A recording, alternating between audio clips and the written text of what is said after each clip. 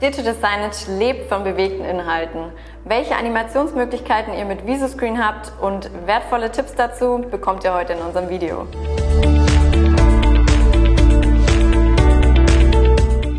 Im ersten Schritt wechseln wir einmal in den Bearbeitungsmodus über das Schraubenschlüssel-Symbol. Jetzt wähle ich mir einfach ein Element aus, was ich animieren möchte. Dann habe ich hier einmal die Möglichkeit, einzelne Buchstaben zu animieren über die Textanimation oder eben das ganze Element. In meinem Fall möchte ich jetzt auf das ganze Element einen Effekt anwenden.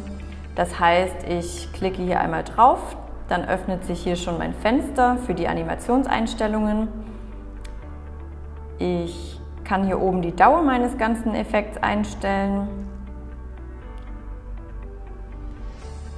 Ich kann hier sagen, wann sie starten soll, das heißt direkt nach Folienstart. Ich kann hier einstellen, nach wie vielen Sekunden der Effekt starten soll und ähm, so kann ich mir dann eine Abfolge erstellen von meinen einzelnen Animationen. Das heißt, das Element fliegt nach einer Sekunde rein, das hier vielleicht nach zwei Sekunden. Das kann man dann hier direkt eintragen.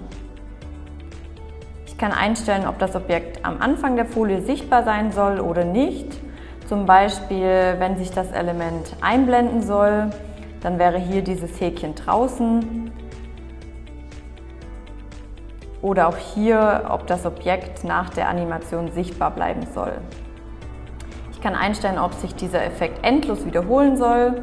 Da zeige ich euch äh, gleich nochmal ein Beispiel. Und unsere eigentliche Animation können wir dann hier unten in dem grünen Bereich festlegen. Da haben wir hier in diesem Fenster verschiedene Standardanimationen bereitgestellt. Kennt man auch zum Beispiel aus den Microsoft Office-Programmen. Einfach schon so vordefinierte Start- und Endanimationen. Das heißt, ich wähle jetzt für mein Textelement so einen Einblendeffekt und kann hier auch noch die Richtung bestimmen. Das heißt, VO heißt dann von oben, von links, von rechts, von unten. In dem Fall möchte ich jetzt, dass das Element so reinfliegt. Das heißt, ich nehme mit mir den Einblendeffekt von oben. Ich kann mir dann hier unten auch über dieses Play-Symbol gleich die Animation abspielen lassen. Das finde ich soweit schon mal ganz schön. Das gleiche mache ich jetzt mit den anderen Elementen auch. Das lasse ich jetzt von oben einblenden.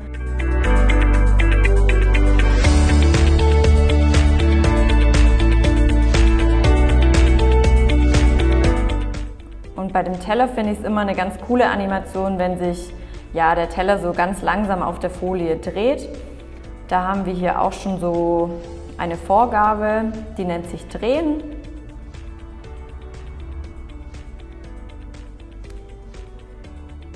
Ich lasse es jetzt einmal kurz abspielen, dann seht ihr nämlich, dass es jetzt sehr, sehr schnell ist. Ich kann dann hier darunter unter dem Fenster noch die Dauer des eigentlichen Effekts einstellen. Das heißt, wenn ich jetzt hier zum Beispiel 200 Sekunden einstelle, zeige mir jetzt nochmal die Forscher an, dreht sich der Teller einfach ganz, ganz langsam. Ich glaube, ich mache es jetzt nochmal ein bisschen schneller, so auf 150 oder 100. Und jetzt dreht sich der Teller ganz langsam. Es ist nicht zu viel, aber man hat so einen kontinuierlichen Effekt mit drin, dass sich einfach auf dem Bildschirm ein bisschen was bewegt, weil das ist ja auch später ähm, das Ziel, den Blick eurer Kunden auf den Bildschirm zu lenken. Und wenn sich da ein bisschen was äh, bewegt, bewirkt das schon sehr viel. Man sollte halt darauf achten, dass es nicht zu wild durcheinander ist, also nicht zu viele verschiedene Animationen, sonst kann es auch schnell unübersichtlich wirken. Ich speichere die Folie mal ab und dann können wir uns das Ganze mal anschauen.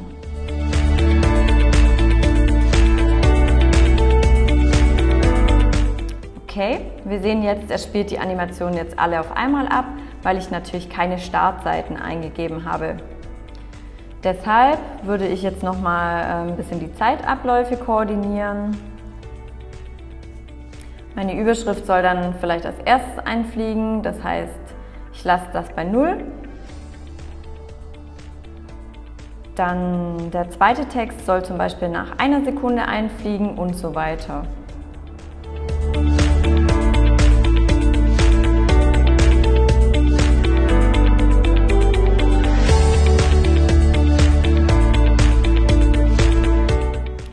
So, und schon ist alles ein bisschen ruhiger geworden, dadurch, dass sich nicht alles auf einmal einblendet. Das so, ja, als kleiner Tipp, da ein bisschen darauf achten, dass es so eine Animationsabfolge gibt. Wie ihr seht, sind die Möglichkeiten mit Visoscreen wirklich vielfältig. Habt ihr zu dem Thema noch Fragen oder auch zu anderen Themen, schreibt sie gerne hier in die Kommentare.